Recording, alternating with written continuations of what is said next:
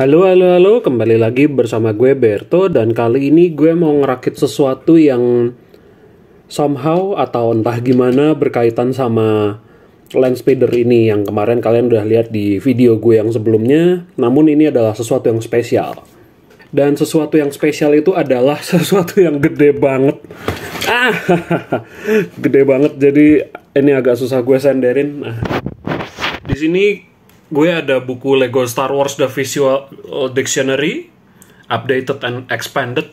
Isinya itu adalah set Lego Star Wars dari tahun 99 sampai 2014 gitu. Terus ini gue nggak tahu kenapa di sini ada baret yang lumayan panjang. Tapi sampulnya bagus.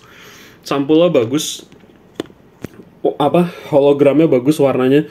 Tapi yang mau gue bahas tentunya adalah si bonusnya di sini kalian bisa lihat ada minifigure Luke Skywalker eksklusif di buku ini. Dan kenapa gue mau nge-review ini? Karena yang sempat gue sebut di review gue yang itu ya. Gue punya figur ini, tapi kondisinya sudah tidak bagus. Jadi apa namanya?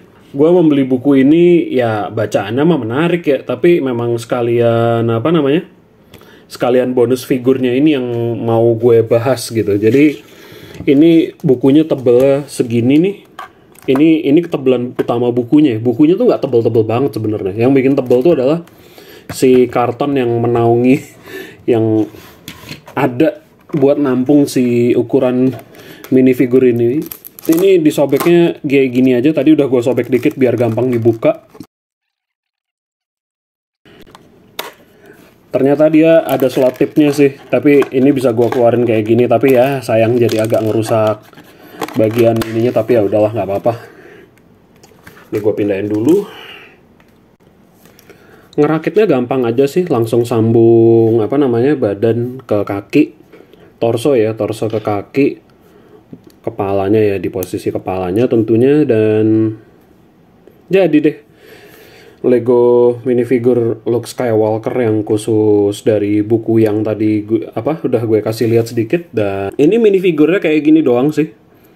Ini Lego ngebikin ulang minifigur ini sebagai mes, sebagaimana mestinya figur minifigure Luke Skywalker ini dibuat di tahun 1999. Di sini kita bisa lihat print mukanya kayak gini.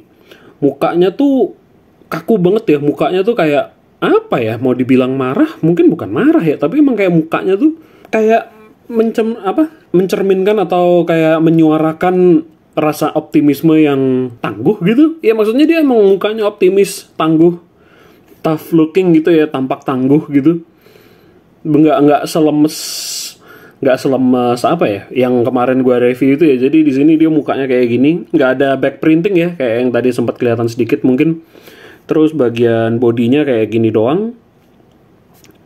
Sederhana tapi cukup menangkap detailnya dan bagian kakinya nih bener-bener bagian hipsnya atau selangkangannya pun beneran putih gitu terus di sini ada print lebihan bajunya sedikit terus baru bagian sepatu atau eh celana ke bawah lah ini pokoknya terus yang belakangnya nah belakangnya ini gue lupa sih beneran ada bagian ininya apa enggak gitu bagian belt yang belakangnya karena gue ya itu sih figurnya sih masih cuman kondisinya udah nggak bagus dan udah gue taruh di gudang juga jadi nggak mungkin gue bongkar untuk sekarang.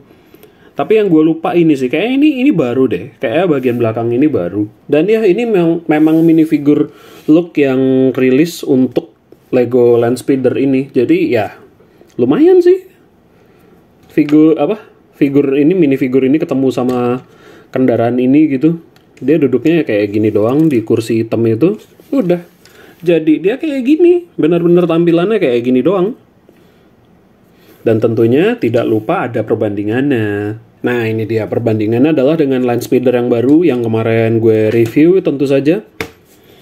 Tentu saja ya itu ukurannya bedanya banyak ya. Perbedaannya segini terus ya dimensinya juga bedanya banyak banget ya ini.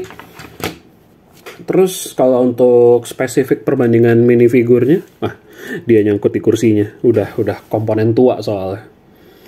Kalau perbandingan minifigurnya ya beginilah. Dulu Lego waktu pertama ngerilis Star Wars, Spider-Man juga bahkan mereka masih pakai standar kulit kuning ya. Kulit apa skin colornya masih kuning bawaan asli Lego sedangkan kalau sekarang kan udah flash tone atau ya warna kulit sebagaimana mestinya. Di sini perbedaannya lumayan ya, lumayan lumayan banyak lah ya. Uh, iya, gue lupa menyebutkan bahwa minifigure look yang ini tuh benar-benar putih total gitu. Dia pemisah warnanya kan cuma bagian print di bagian bootsnya ini untuk seolah-olah jadi agak krem padahal enggak sih. Ini figur ini total warna putih. Terus kalau look yang lama, ya dia masih ini warna tan gitu, warna pasir. Jadi lumayan kepisah mana warna baju, warna mana warna celana gitu ya, sepatu gitu-gitu. Ya bedanya kayak gini seperti yang kalian bisa lihat. Bagian belt, ya beda semua lah. Bajunya sih memang sama lah miring gitu ya. Karena kan memang bajunya lu kayak gini. Uh, tapi bedanya di belt, kaki juga beda tentunya. Printnya, desainnya ya. Ini kan secara teknis kan desain grafis gitu ya. Vektor terus di print tampograf, di print ke apa namanya? ke badan minifigure. Terus bagian belakangnya juga beda. Di sini pouchnya dua. Kalau yang dulu pouchnya cuman tiga malah tiga ya maksud gue ini pouchnya tiga ini cuma dua ya gitu sih minifigure jadul akhirnya saling bertemu saling bertemu ya